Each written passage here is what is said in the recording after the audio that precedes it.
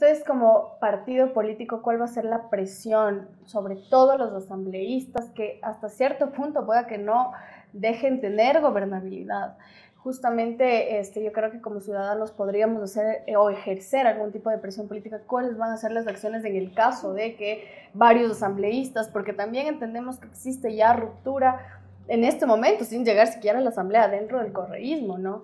Entonces, ¿ustedes qué crees? ¿Cuáles van a ser las presiones? Bueno, influye mucho el número de asambleístas. Una cosa es tener una comunicación fluida con ocho asambleístas y otra cosa es tratar de controlar un bloque de 20, un bloque de 30 asambleístas. Lastimosamente, esta fragilidad del sistema de partidos, cómo llegan asambleístas de una organización política, pero representan a, a, otra organización política que no está inscrita, como en el caso de Gente Buena, todo esto ha influido también que existan ciertas rupturas. Entonces, mientras nosotros tengamos con una nueva bancada que esperamos tener, una, una agenda legislativa clara y concisa y en donde podamos transmitirle a la ciudadanía que vamos a hacer la diferencia dentro de esta corta Asamblea Nacional.